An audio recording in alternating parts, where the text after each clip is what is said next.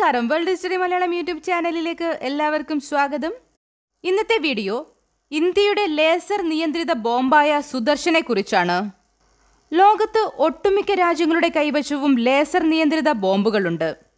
യുദ്ധഭൂമിയിൽ വൻ നാശം സൃഷ്ടിക്കാൻ ശേഷിയുള്ള ലേസർ ബോംബുകൾ ആയിരത്തി തൊള്ളായിരത്തി അറുപതിൽ അമേരിക്കയാണ് ആദ്യമായി വികസിപ്പിച്ചെടുക്കുന്നത്. പിന്നീട് റഷ്യ ഫ്രാൻസ് ബ്രിട്ടൻ ഇസ്രയേൽ തുടങ്ങിയ രാജ്യങ്ങളും ലേസർ ബോംബുകൾ നിർമ്മിച്ചു.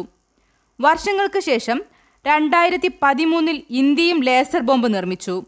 പരീക്ഷിച്ചു വിജയിച്ചു. പേര് സുദർശൻ.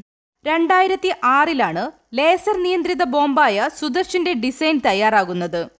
പിന്നീട് ഏഴു വർഷങ്ങൾക്കു ശേഷമാണ് ബോംബ് പരീക്ഷണം പൂർത്തിയായി വ്യോമസേനയ്ക്ക് കൈമാറിയത്.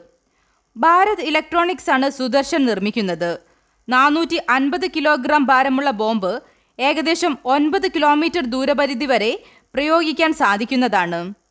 രണ്ടായിരത്തി പത്തിൽ രണ്ടു തവണ പരീക്ഷണം നടത്തി വിജയിച്ച ബോംബാണ് Sudarshan.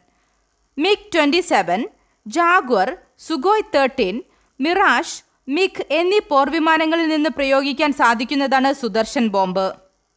ജി പി എസിന്റെ സഹായത്തോടെ ലേസർ വഴി നിയന്ത്രിക്കാൻ ശേഷിയുള്ള സുദർശൻ ശത്രുക്കളുടെ പേടി സ്വപ്നം തന്നെയാണ്. നിലവിൽ ഇന്ത്യൻ സേന ധാരാളം സുദർശൻ ബോംബുകൾ ഉപയോഗിക്കുന്നുണ്ട്. എന്നാൽ ഇതിലും മികച്ച ലേസർ നിയന്ത്രിത ബോംബുകളുടെ നിർമ്മാണവുമായി മുന്നോട്ടു പോകുകയാണ് എ ഡി ഇ സുദർശനെക്കുറിച്ചുള്ള വീഡിയോ ഇവിടെ പൂർണമാകുന്നു. അടുത്ത വീഡിയോയുമായി കാണും വരെ. Good bye